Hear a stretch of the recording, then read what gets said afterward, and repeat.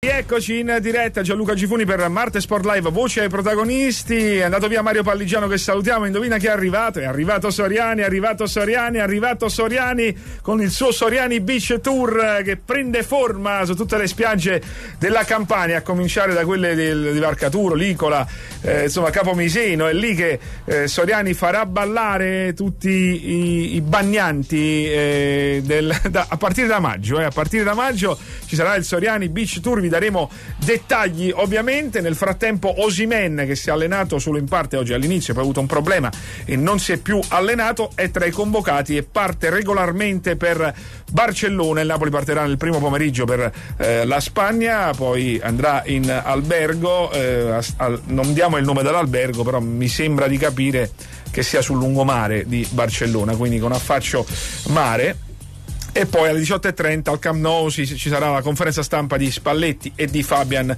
Ruiz eh, che ha sfidato il Barcellona attraverso le sue dichiarazioni a un'intervista realizzata da Mirko Calemme, corrispondente del quotidiano spagnolo AS in Italia. Ci vogliamo vendicare eh, della eh, partita di due anni fa in Champions League, come ricorderete, l'1-1 a Napoli e poi la sconfitta ad agosto dopo eh, il primo lockdown Covid eh, in pieno agosto al Camp Nou dove il Napoli aveva meritato molto di più. E poi Napoli merita lo scudetto, vedremo. Sentiamo questo messaggio vocale WhatsApp e poi tra poco andiamo da Enrico Fedele. Gianluca, ma che dici? Che c'entra? Negli altri stati fanno il tifo, è solo a Napoli che non fanno il Vabbè, tifo. mi avevano chiesto del gruppo allora, organizzato. Io lo dico, Poi, della carta stampata questo è un altro paio di maniche. Avete fatto anche voi il male del Napoli. Certo, Nessuno lo dice. Sempre De colpa della carta stampata, Sarà un grande presidente, un grande manager, ma una visione distorta e sbagliata del calcio. Un pallone a Napoli è finito. Issi, i bilanci che stanno a posto, non ci azzecca niente. Perché una cosa è prendere partecipe del progetto, parte integrante del progetto la piazza, e una cosa è tenere i bilanci a posto. L'una non esclude l'altra. Quindi voglio dire, la gestione della Rendis sotto questo punto di vista, che secondo me è il primario, il più importante, è fallimentare. Un pallone a Napoli è finito. I ragazzi non so vedono più a Napoli. Va bene, eh, la domanda era sui gruppi organizzati, abbiamo risposto. Che poi ci sia un, eh, un gelo o una freddezza da parte di un certo tipo di pubblico napoletano nei confronti del Napoli, questo è indubbio, nel senso che è certo, eh, lo abbiamo notato e non soltanto noi lo hanno notato, ne abbiamo parlato anche nei giorni scorsi e la genesi di questo gelo eh, del tifo non so quale sia. Tu parli, caro amico, eh, del fatto che De Laurentiis non abbia eh, coinvolto come parte integrante del progetto del Napoli la piazza, per cui c'è stato un distacco da parte di qualcuno o più di qualcuno. Può darsi che sia questo. Adesso è il momento di Enrico Fedele. Fedele contro tutti. Il filo diretto con Enrico Fedele. Direttore, buongiorno. Buongiorno a voi. Lei ha notato po' di gelo da parte della piazza. Questo amico dice che il calcio a Napoli è finito perché De Laurentiis non ha mai reso partecipe la piazza del suo progetto.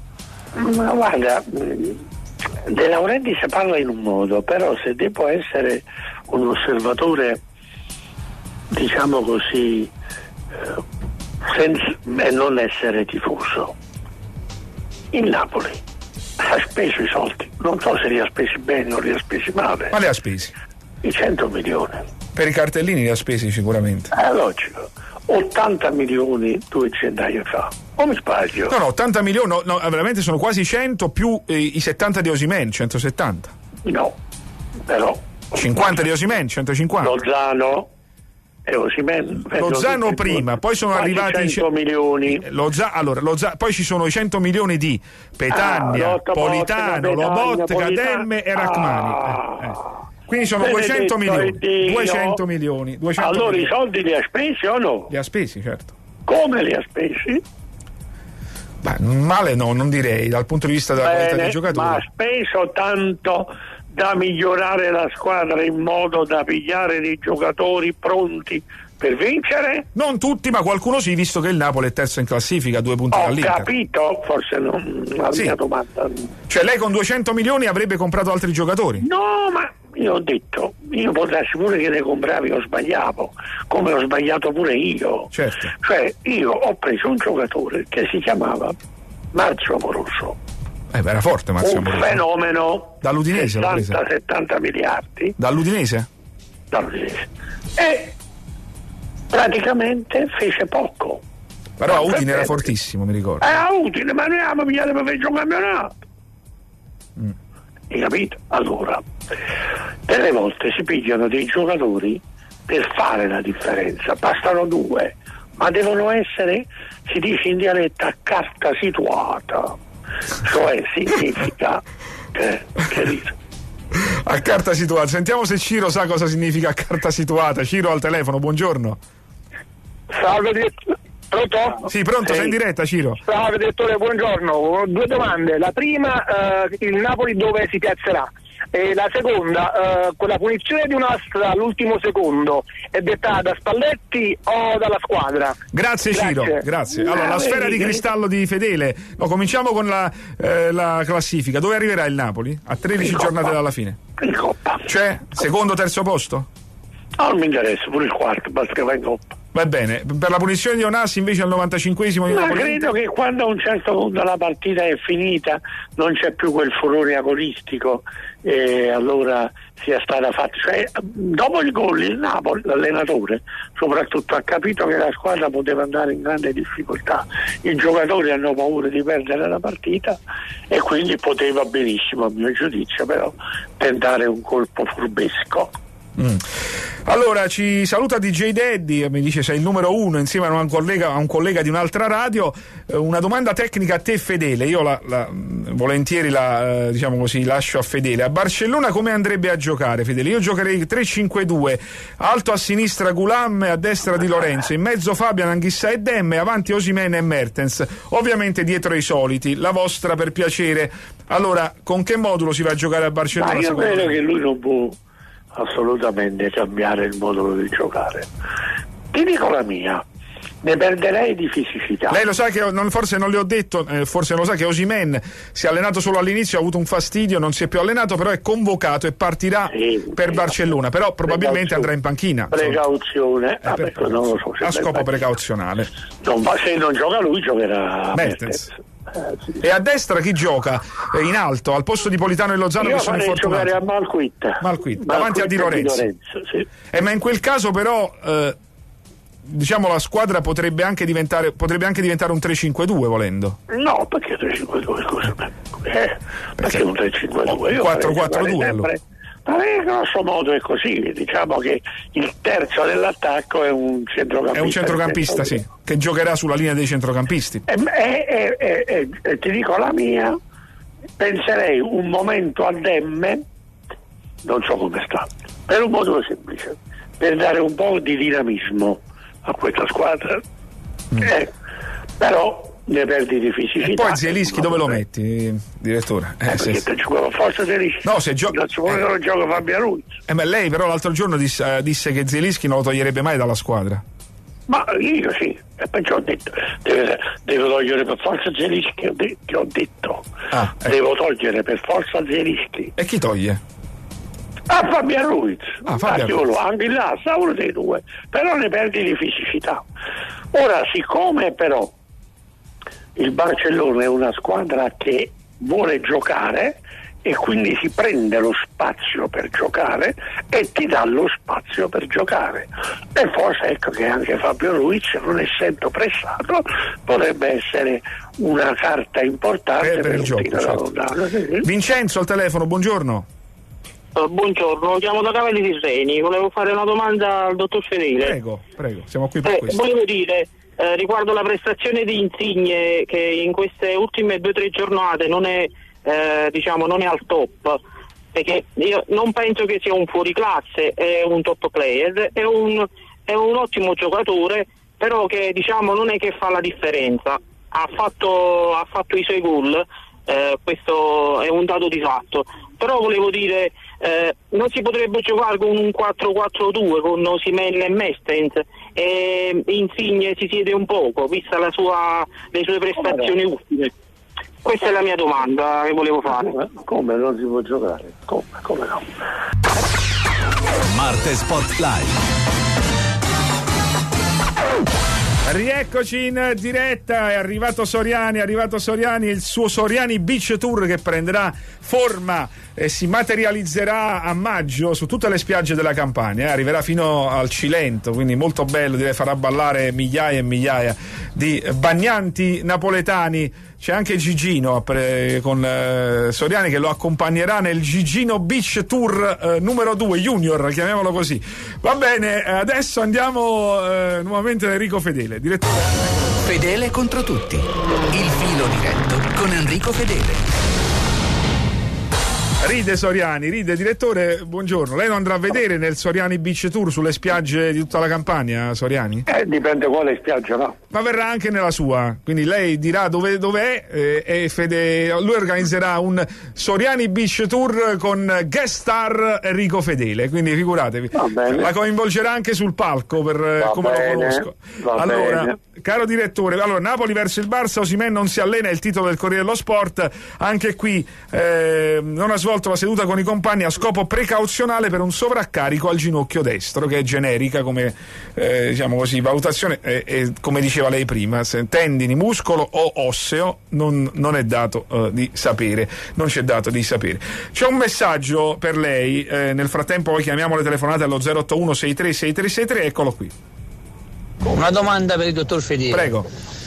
So. Sicuramente lei conosce tutte le dinamiche del calciomercato. Probabilmente Insigne ha potuto firmare un contratto col quale il Toronto dice io ti do questi soldi se tu rimani un giocatore integro e se poi subisci un infortunio questi soldi ti cambiano oppure decade il contratto. Cosa mi dici? Grazie. Ma la visita medica, la visita medica è, è- è condizionante per un tesseramento. Credo Anche che... se c'è un contratto, quindi sul contratto è, è già specificato, Allora precisato. tieni presente che generalmente il contratto quando tu lo firmi, questo è un preliminare, eh, che tu lo firmi mh, eh, presuppone che tu già abbia superato la visita medica in quel momento. Mi senti? Sì. Perché una volta c'erano dai 20 al mese di tempo per poter fare le visite mediche, se poi tu non risultavi idoneo, allora si andava al, al Coverciano, al centro medico nazionale, dove si facevano gli ulteriori accertamenti e si dava la definitiva sentenza.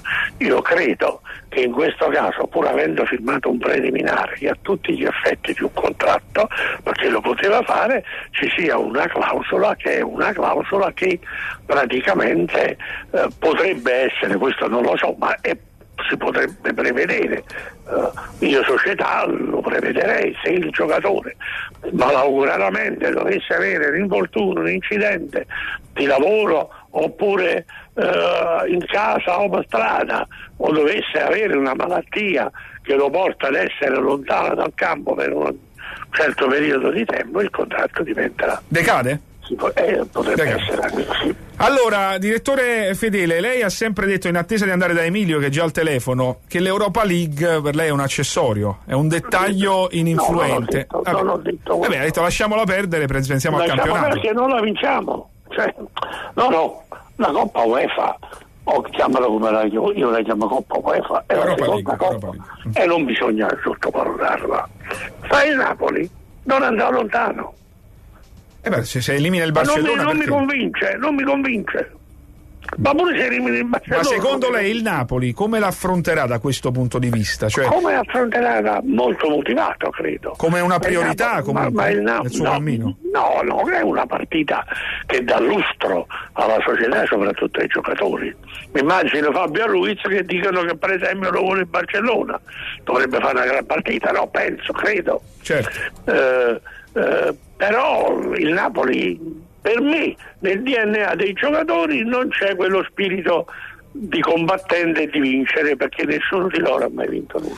Allora, la formazione di domani dovrebbe essere Meretti in porta che giocherà eh, eh, al posto di Ospina eh, nell'alternanza, insomma, che ogni tanto Spalletti propone. In difesa dovrebbe essere tutto invariato, di Lorenzo a destra, Racamani e Culibali centrali, Mario Rui a sinistra. A metà campo, stanto- sta- stante il- l'infortunio di Lobotka, giocheranno Anghissà, Fabian e Zielischi sotto punta. A sinistra Insigne ci sono due dubbi, eh, Mertens più di Osimen al momento come punta centrale, visto che Osimen ha avuto questo eh, lieve Elmas fastidio. Somalquit. E poi o Elmas o Malquit a destra. Esatto. Quest'amico scrive: Secondo me eh, giocherà Elmas perché Spalletti è innamorato di Elmas. Eh. Ci scrive Emilio al telefono, buon pomeriggio. Buon pomeriggio e Forza Napoli. Vabbè, io volevo fare una domanda al direttore, bene o male forse già mi ha un po' risposto, perché io cioè, a questa Coppa UEFA la chiamo ancora così, ci terrei anche dai periodi di Benitez Cavani che ci siamo andati molto vicini. Eh, lì, a parte che secondo il direttore forse non andremo lontano, io spero di vincere, vabbè, ma questo turno lo possiamo passare, grazie ascolto per radio. Io sono sempre sincero, a costo di farmi delle nemicizie, credo di no. Credino, va bene. Mimmo Ascolese le scrive, caro eh, direttore, eh, con tutto il rispetto per le competenze del direttore, Leao meglio di Osimen non si può sentire. Eh beh, evidentemente fa un altro mestiere questa signora, fa il tifoso. Perché Leao è migliore di Osimen, superiore di Osimen, da che non punto di vista? Da che tutti i pu- punti di vista. tutti.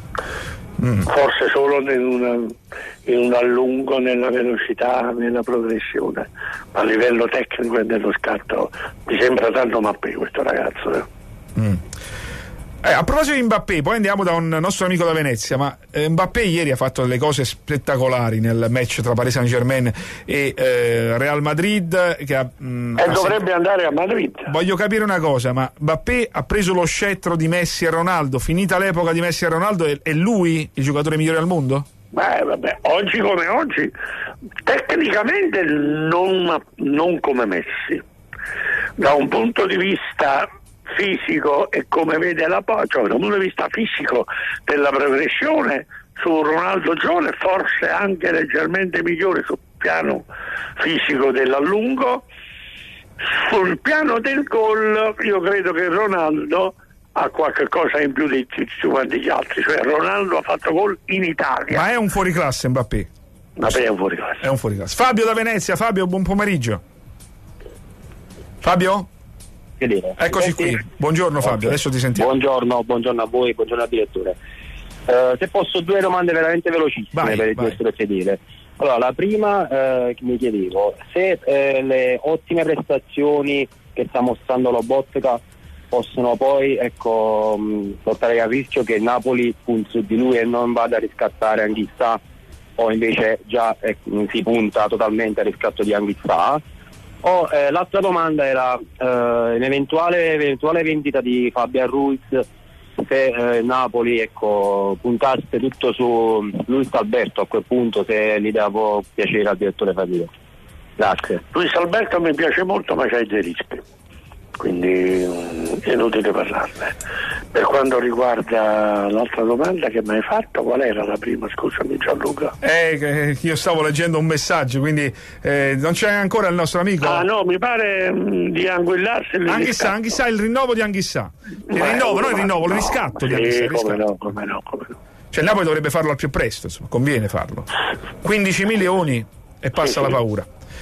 Allora, ciao Gianluca, sono Gigi, solo tu che sei giornalista e anche tifoso ed il direttore che è maestro di calcio mi potete, mi potete delucidare. Eh, da molti addetti e tifosi sento sussurrare che sarebbe meglio concentrarsi sul campionato, il che mi fa pensare che domani si gioca allo stadio Carlo Stagno dal Contes di Barcellona Pozzo di Gotto, provincia di Messina, in Coppa Italia contro l'Igea Virtus. Possibile che siamo diventati così snob come tifosi? Eh, io credo che anche per i tifosi domani sia una gara di grande prestigio e di grande attesa dunque in questa vigilia. Ma chi l'ha detto che la snobba la partita? Scusa, io parlo di. Io non so in base a quale criterio di valutazione molti giornalisti, molti critici e molti che si dilettano a scrivere di calcio con non capendo perché dice che il Napoli è più forte del Barcellona. Ecco, mi devo dire No, però dal punto di vista dell'organizzazione di Oh, gioco probabilmente sì. sapere in base a che cosa? Organizzazione di gioco in questo momento. Ma il chi l'ha detto? Ma è in fase di detto? costruzione. Ma chi lo dice? Il Napoli che è? Ma a Napoli l'hanno visto il secondo tempo con l'Inter, l'hanno visto il primo tempo con, a, a- a Venezia, l'hanno visto contro la Salernitana. Allora, visto- eh, allora, eh, dai, Allora. Carlo scrive: Una società vincente fa una squadra vincente, mai viceversa. Meditiamo. E poi ancora, Gino le Io chiede. voglio fare una domanda precisa, precisa, vorrei una risposta precisa. per fare una squadra vincente che cosa bisogna avere? Dei giocatori vincenti. Vincenti, Oh, certo. Ma bisogna una- avere più competenze o più soldi Bisogna da spendere? no, lì. ok, per prenderli bisogna avere più competenze o più soldi da spendere? bisogna pigliare la competenza e bisogna spendere i soldi. Eh. Allora, i, i giocatori vincenti del Napoli chi sono? Eh, beh, ce ne sono tanti, eh. E dimmi, che cosa hanno vinto e poi ti rispondo. Ah, cosa hanno vinto? Lei dice storicamente Eh no, vincenti. i vincenti sono chi vince, Ok. non chi. Chi ha vinto? Eh, chi ha vinto nel Napoli? Sto Eh, cercando nessuno. di trovarli. Eh, Nessuno. no, eh, Koulibaly in Africa. Coppa Italia e Koulibaly il Sene, col Senegal è la Eh, Coppa eh, nessuno. Ah, Insigne è il campionato europeo con la nazionale italiana, Insigne Beh, di Lorenzo, eh, Meretti. vabbè, Eh. è che mi ha fatto quattro su c- cinque partite, mi ha fatto tre volte su Coppa e due Vabbè, è sempre una vittoria, Vabbè, eh. Comunque è sempre una vittoria, sono d'accordo. Eh. E quindi sono pochi? Non c'è nessuno. Eh? non c'è nessuno! Va bene, va Ah. bene direttore. Deo scrive contro il Barcellona, spero in un risultato positivo. Forza Napoli vinci sempre, il pareggio andrebbe bene domani, no? Mi sembra in vista della partita di ritorno. Mi sembra un risultato per Napoli. Anche perché da quest'anno non valgono i, i gol segnati in trasferta, quindi anche un 1-1 sarebbe un risultato da ehm, eh, scusatemi, eh, ehm, cioè se domani dovesse finire 0-0 e al Maradona 1-1 non ci sarebbe quale, la la valenza del gol in trasferta, per cui eh, insomma anche uno 0 a 0 poi domani andrebbe bene. Eh, si va ai supplementari, sì, perché i gol in trasferta non valgono Non più valgono doppio più a parità di esatto. gol realizzati nel doppio confronto da quest'anno. Allora, direttore, ah, eh, noi siamo, dobbiamo dare la linea a Very Good, eh, sono già pronti i nostri amici, però eh, c'è un amico che le chiede, Gino, eh, chi ha maggiore responsabilità sul gol di Zeco secondo, secondo lei contro l'Inter? Eh, c'è un bel 30-40% di Ruiz. Si sono fatti un rimballo maledetto di, che non guardava, non è stato molto attento sulle gambe e reattivo di, di, di Lorenzo, credo.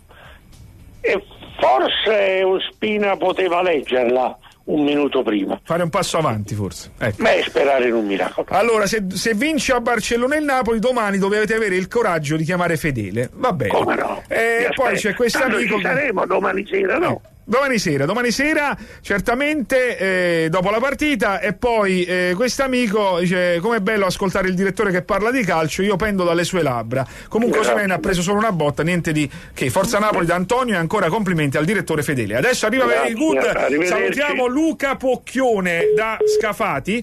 eh, che è un amico sicuramente di Gigino qua a Pizza Metro che sta accanto a Gigi Soriani che parteciperà eh, lui è amico di, dei- dei amici di Scafati di Luca e del Pocchione anche anche del Pocchione. Va bene adesso arrivano due Luca Pocchioni eh, e cioè eh, gli amici di Very Good eh, il Disonestis e il De Laurentiis dei poveri eh, per un grande pomeriggio su Radio Marte. Grazie a Mario Palligiano e Gigi Soriani in regia. Grazie a voi per la cortese attenzione. Da Gianluca Gifuni è tutto. Stasera ci risentiamo alle 19 con Marte Sportlight tiro al bersaglio e la conferenza stampa. Di Luciano Spalletti e Fabian Ruiz dal Camp Nou di Barcellona alla vigilia di Barcellona-Napoli andata dei sedicesimi di finale di Europa League. Buon pomeriggio a tutti